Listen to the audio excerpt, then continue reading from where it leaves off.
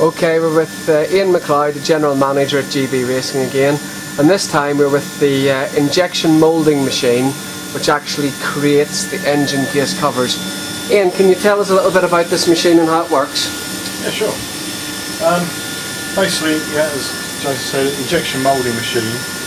Think of it as a just a huge, great melting pot. And what we take initially is the original raw material this is what they call the long grain glass. That's the uniqueness of our product. Very aggressive, very uh, good abrasion.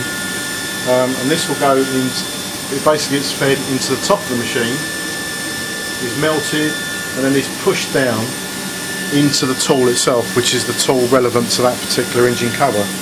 This particular cover we have here is for the Ducati and it's a water pump uh, cover on the 1198s and 1199s and what have you.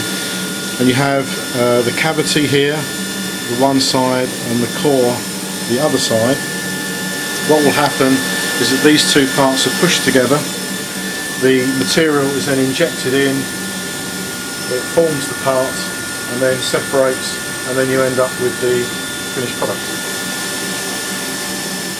And that's how a GB Racing cover is born, yeah? Absolutely. Thank you, Ian.